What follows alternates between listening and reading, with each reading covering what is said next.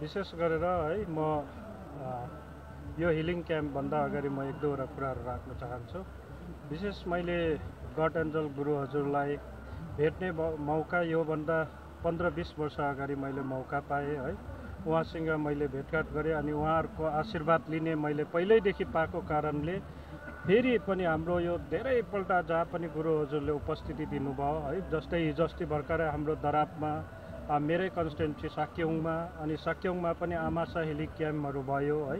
अनि गुरु हजुरको उपस्थिति नहुँदा पनि हामीले गेजिङमा जुन क्याउसा ग्राउन्डमा यस्तै प्रकारको आमासा त्यो मेगा होइन तर यो सानो प्रकारले एउटा आमासा हेली क्याम्पहरू लागेको थियो।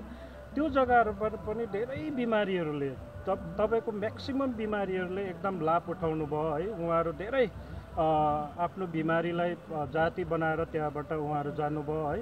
र उहाँको ब्लेसिङले गर्दाखेरि हाम्रो सिक्किममा मात्र नभएर विभिन्न जग्गाहरूमा धेरै बिमारीहरू तपाईँको लाभ उठाइरहनु भएको छ है। र आज मैले यहाँ पनि छठौँ दिनमा सिक्स डेमा तपाईँको यो मेगा आमासा हेलिङ क्याम्पमा मैले आउने मौका पाएँ। अनि मैले यो विभिन्न यो तपाईँको बिमारीहरूको इन्स्टलरलाई भिजिट गर्दाखेरि अब यस्तो लाग्यो मलाई है यहाँ पाँच हजारभन्दा बेसी बिमारीहरू विभिन्न जग्गाको तपाईँको सिक्किमको मात्रै नभएर इभन भुटान नेपालहरूबाट पनि यहाँनिर बिमारीहरू आउनु भएको रहेछ है र मलाई यति साह्रो खुसी लाग्यो।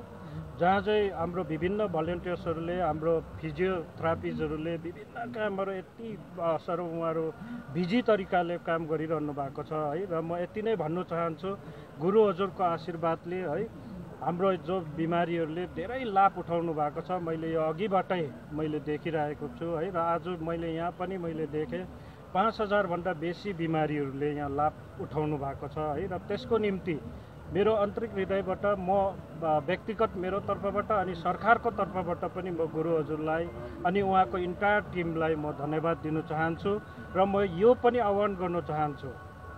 विशेष जति पनि सिक्किमभित्र विभिन्न जग्गाहरूमा अनि अरू राज्यहरूमा पनि बिमारीहरू हुनुहुन्छ है उहाँहरू पनि यहाँ आउनुभयो भने धेरै उहाँहरूलाई पनि मतलब रिलिफ हुनेछ है र यो कुरा म आह्वान गर्न चाहन्छु।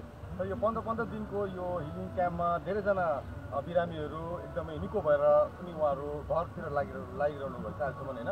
कस्तो प्रकारले यो निर्माण हेभेनले पार्टीले यस्तो इनिसिएटिभ लिएकोमा के भन्न चाहनु चाहन्छु विशेष गरेर मैले अघिबाटै भने है यो आज मात्रै होइन उहाँहरूले धेरै वर्षदेखि अगाडि नै यो क्याम्पहरू है तर यस्तो प्रकारको ठुलो मेगा क्याम्प नगरेर उहाँहरूले डिस्ट्रिक्टमा कन्स्टिटेन्सीमा यस्तो मेगा क्याम्पहरू गर्नु हुँदै थियो।